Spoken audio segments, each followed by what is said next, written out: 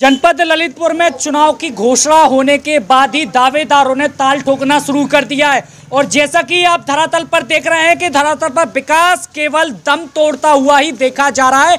और जैसा कि जो प्रत्याशी है नए नए मैदान में उतर कर आ रहे हैं। और जैसा कि बताया जा रहा है कि अगर विकास अगर पूर्व में नहीं हुआ है तो आने वाले समय में करवाएँगे। अगर जीत और जनता का सहयोग मिलता है तो विकास की गंगा भी बहा देंगे। तो इस समय हम अभी चुनाव कार्यालय पर पहुँचे हैं, जो कि यहाँ पे सहनाज प्रत्याशी आम चुनाव चिन्ह पर ये खड़ी हुई है। और पहुँचे और थोड़ा हम इनसे जानेंगे कि क्या कुछ यहाँ पे वर्तमान हालात देखे जा रहे हैं और आगामी क्या कुछ उनके नतीजे होते हैं, अगर ये जीत हासिल करती है। साथ ही हम ये भी जानेंगे कि एक पार्षद की जिम्मेदारियाँ क्या क्या होती है और क्या कुछ है जनता की मुहिम पर खड़ा उतरी रहेंगी। जी, स्वागत है आपका। मेरा नाम है सहनाज, मैं वार्ड नंबर चौदह से हूँ, रावतियाना दूती। मेरी समस्या ये है, मेरी जो आम जनता है, मेंबर की, हम आप अभी जो पहले वर्धमान में पत्रमोह थे, यहाँ के पार्षद तो वो अभी तक जनता बहुत परेशान थी। हमारी जनता ने हमें उतारा है, उन्होंने समझा इस लायक हैं हम तो वो हम अपनी जनता के लिए काम करेंगे। जो जनता के लिए यहाँ पर रोड डलवाना है, साफ़ सफ़ाई है जनता क्या मांगती? पार्षद से यही मांगती है। मेन समस्या पार्षद के लिए ये होता है पूरा। उनके लिए सुनवाई करें। पब्लिक परेशान है, उनके लिए परेशानी दूर करें उनकी। पब्लिक के लिए रोड डलवाएँ, साफ़ सफ़ाई करें। बस पब्लिक ये इसी में खुश रहती है। हमारा यही विचार है, हम पब्लिक के लिए ये काम करके देंगे, उनके लिए आगे चल के करें। जैसे कि हमारे सवाल पूछने के पहले उन्होंने सारे उत्तर उन्होंने दे दिए। अब बात ये आती है कि अभी वर्तमान हालात की अगर हम बात करें तो क्या कुछ यहाँ पे जनपद में आ, आपके वार्ड में क्या कुछ दिखे जा रहे हैं? हमारे वार्ड में यहाँ पर ना यहाँ रोड सही है। मैंने जाके खुद गली गली जाकर मैंने खुद देखा है। यहाँ की जनता इतनी परेशान है बेचारी। वो लोग कहती हैं दीदी यहाँ का रोड नहीं डल रहा। यहाँ का रोड डलवाना सबसे पहले। सबसे पहले लाइट की समस्या है यहाँ पर। इतनी पब्लिक परेशान है यहाँ ना लाइट की समस्या दूर हुई।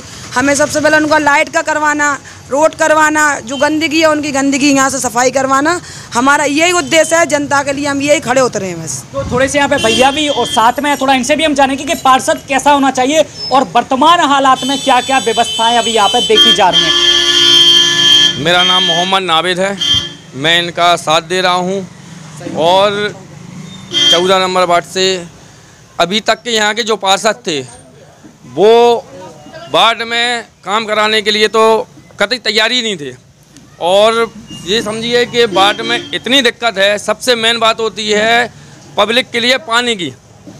पानी के, गिनती के ज़्यादा ज़्यादा आठ या दस हेडपम्प लगे हैं, वो भी ख़राब हैं सारे। हम लोगों ने जगह जगह जाके चेक किया है, करा है और आश्वासन दे के आए हैं कि अगर हम लोग जीतते हैं तो ये सबसे पहले आपकी पानी की समस्या दूर कराई जाएगी।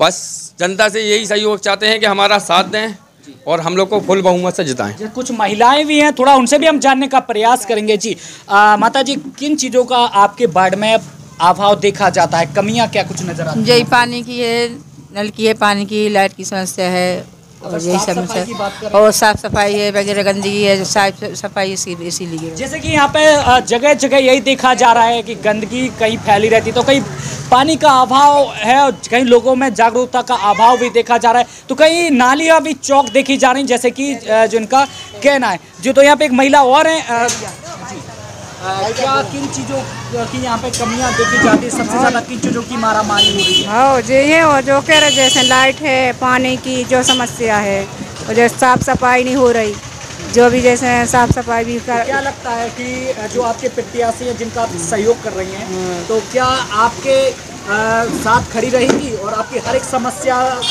को निदान दिलाया जाएगा? लगता है आपको? लगता का नहीं लगता? जी भाई साहब भाई साहब, क्या लगता है अभी आपको वर्तमान हालात क्या जा रहे हैं? देखिए सर, आने वाला समय तो नहीं जानते, लेकिन हमने इतना देखा है कि कोरोना काल के समय में इन्होंने काफ़ी मदद की है। चुनाव तो ये आज हो रहे हैं, लेकिन हमेशा से ये मदद करने में आगे रही हैं। बाकी तो भगवान की मर्ज़ी है ईश्वर की, लेकिन हम लोग यही चाहेंगे कि इसी तरह से जुझारू और कर्मठ जो सबकी सुनने वाला प्रत्याशी हो, वो ही जीते। और हमारी यही उनके साथ में वो है कि ये जीते और भगवान जाएगा तो जीतेंगे नहीं ये। तो जैसा कि बताया जा रहा है कि वर्तमान हालात को देखते हुए नए नए युवाएँ मैदान में कूद उठे हैं, चूँकि जो हालात बद से बदतर होते जा रहे हैं और जैसा कि लोगों का कहना है मोहल्लेवासी परेशान जगह जगह भी देखे जा रहे हैं। अब देखने वाली बात होती है कि जनता की क्या राय होगी और क्या कुछ किनको चुनते हैं कौन सा अध्यक्ष नगर पालिका होना चाहिए और कौन सा उनके वार्ड का प्रत्याशी होना चाहिए। अब वो देखने वाली बात होगी और कौन पार्षद रहेगा, वो तो जनता ही बताएगी। तो हम आपको और भी जगह ले चलेंगे, वहाँ का नज़ारा भी आपको दिखाएँगे। वर्तमान हालात क्या देखे जा रहे हैं वो भी हम वहाँ पे मौजूद लोगों की जुबानी जानेंगे और स्थितियाँ भी हम आपको दिखाएँगे। तब तक के लिए बने रहिए मेरे साथ। फ़िलहाल के लिए मुझे दीजिए इजाज़त। नमस्कार।